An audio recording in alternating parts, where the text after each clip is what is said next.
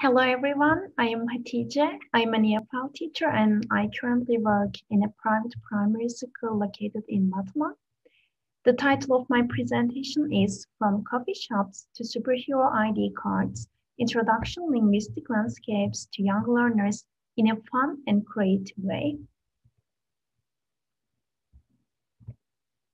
Through my presentation, I'm going to talk about the idea of my lesson plans, general information about the target group, application of the lesson plans, outcomes of the lesson, and, and my reflection about this project.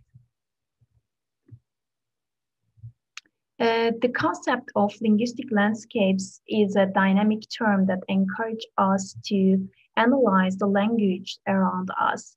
And uh, integrating linguistic landscapes in language teaching is a way to help students to meet the language outside of the classroom. For that purpose, I chose two topics to apply in my, in my classroom. One is coffee shops and the other one is ID cards. Actually, I took the advantage of the language education system in our school. We have general English and we have connection lessons. In connection lessons, we use content-based approach we teach math, science, social science, and some art lessons by using English as a means. So for my general English lessons, I chose the topic coffee shops.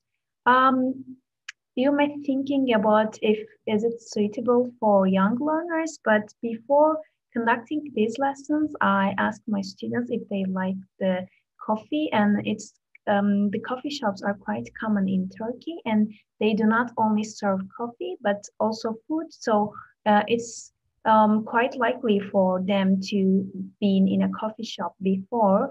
Um, and uh, I saw an article about history of Turkish coffee on their Turkish language course book. So I thought it's uh, could be a it would be a good idea to apply this topic. Uh, and for connection lesson, I chose uh, the ID cards as the topic. Since everyone has an ID card and it has a connection with social science lesson because they had this uh, topic in their social science curriculum and the old Turkish cards were monolingual, but the new Turkish ID cards with chip, they are bilingual, both English and Turkish is written. So I thought it would be a good idea, idea as linguistic landscapes. Target group, uh, I worked with, with a group of four fourth grade students. The, their language level was uh, A2. This is a small group because of the pandemic, we use with small groups. We work with small groups. Uh, lesson one, one was a general English lesson. It was about coffee shops. I specified some target vocabulary and I provided the target vocabulary during the lesson. Some of the vocabularies are takeaway, tall, medium, short, coffee shop, steam milk, milk foam, napkin, coffee cups, and challenge. I started my lesson with warm-up question uh, to make students familiar with the topic. Like, have you ever drunk coffee? When? Which coffee? Do you know how coffee grows? And I showed them a video about how coffee is made on YouTube. Do you know the countries grow coffee? Can you name three kind of coffees? And after asking this question, I showed them a video about a famous coffee's recipe. I mm, told them uh, this coffee was very popular at the beginning of the pandemic when everyone is current, um, in the quarantine and they were making this coffee and sharing this on their social media media accounts and it was a challenge and at that time i provided the word challenge um, and I asked if they know any coffee shops in our town, what are their names, if they have ever been to a coffee shop before. Visual analysis. This photo is a photo of a famous coffee shop in our town. Uh, I took the picture and I asked a couple of questions to my students to make them analyze uh, the photo and the language they see. I asked the name of the coffee shop. This is a funny question because the name is already coffee shop. Uh, what colors do they see? Is it a small or big coffee shop? And I asked about the opening and closing times.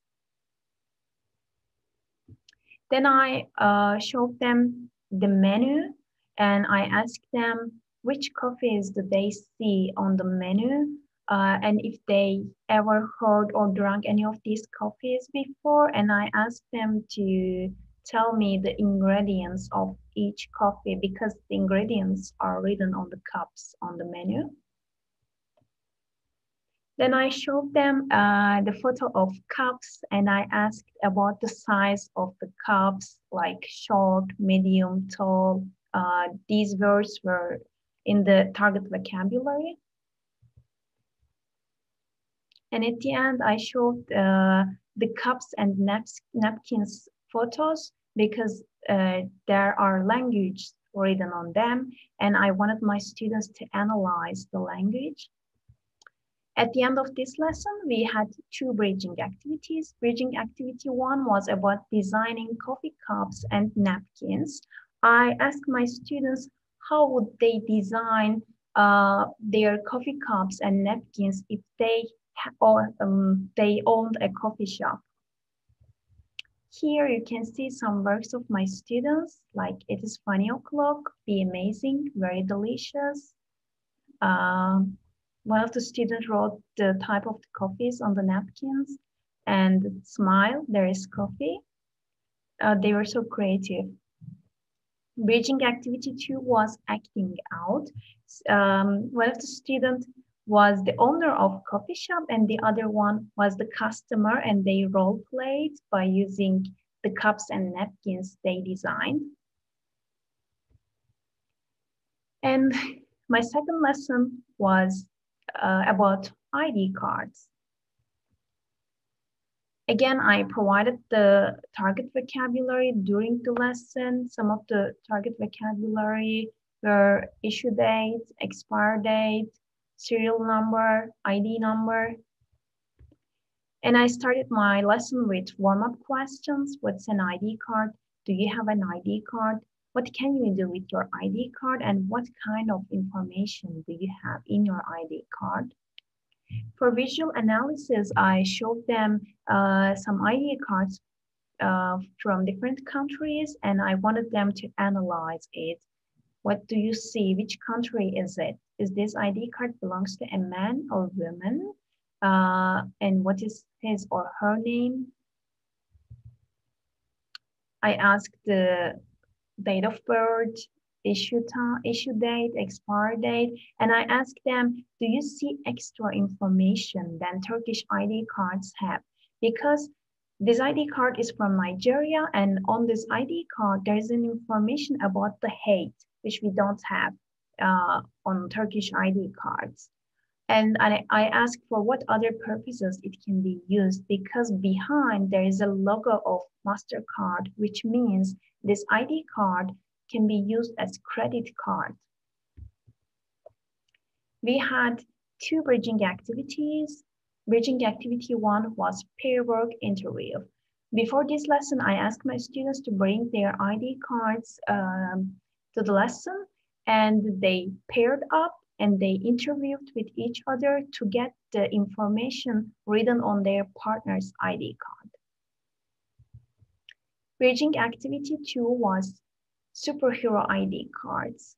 Uh, my student chose um, their favorite superheroes and they designed the ID cards of their superheroes and they added information like uh, what kind of powers do, would they want um, their superheroes ID cards have.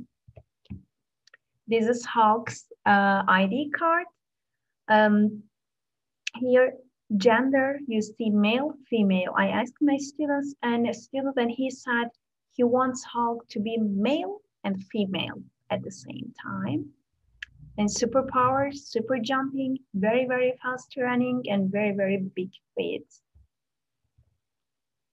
This is Elsa's ID card. My student wanted to give uh, her surname to Elsa. And this is Batman's ID card. Um, I liked this ID card because it is funny and creative. Uh, surname is Bat, name is Batman. Father name, Birdman. Mother name, Rabbitman. Nationality, Bat's country. And this is Deadpool's uh, ID card. Um, so what were the outcomes? First of all, it raised awareness of linguistic landscapes among students. There was an element of fun uh, and it, it increased participation of students because the materials were authentic. And it made me think about more ideas to plan lessons. And lastly, I'm really proud of being uh, the, a part of this project called Linguistic Landscapes because it's really increased my awareness to the language surrounds me and I encourage everyone uh, to apply these ideas in their classrooms because um, they are really inspiring uh, and students really like them. Thanks for listening to me. If you have any question or if you um, want me to share my lesson plans and PPT, you can just uh, send me an email through my email, hixen at outlook.com. Thanks again.